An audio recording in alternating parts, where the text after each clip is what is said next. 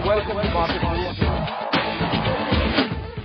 When you say that uh, you would prefer it to be cheaper before you actually step in and buy, and most investors say that, how much more cheaper? At what level do you think that this market would be cheap according to you? Under 11 times earnings, uh, it's cheap. And under 11 times earnings traditionally is it's a good time to buy the market. Uh, the, the uh, you don't get cheap stocks uh, in a in a nice environment, so the environment uh, would have to worsen some, and with the RBI uh, uh, uh, starting quantitative tightening today, that that environment could very well happen.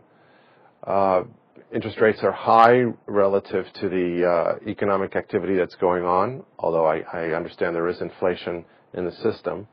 But uh, the economy will probably slow slow more now, and that could provide us with an environment in which stocks get down to, you know, 10 and a half times earnings. At that point, I think uh, the Indian market would be compelling, and investors, long-term investors like us, would would see fit to overweight and commit new capital to the market. So, do I hear you say, Gary, that in the short term, the next few months, you expect a lot more pain in these markets, and that would really trigger more buying from long-term investors like you? I, I, I think so. I think there's a there's a high degree of risk right now uh, that um, that uh, the macro continues to deteriorate, and we're not seeing estimate revisions uh, upwards in terms of the uh, the bottom up uh, stocks. So in general, uh, I think that the markets will come down to a level of of of qu- quite intense sobriety, just like we're seeing in, in Russia and Brazil, where the euphoria is dissipating completely.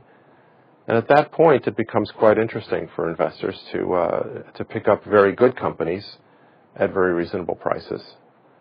The state-owned banks are, are really pretty cheap in India. They've got lots of problems, but they've uh, they've discounted a lot. That's one area that uh, that could be could be interesting. And the industrials, if uh, the industrials could also become interesting if they get a little cheaper, and if the outlook uh, for for uh, industrial production starts to pick up. Hello and welcome to Market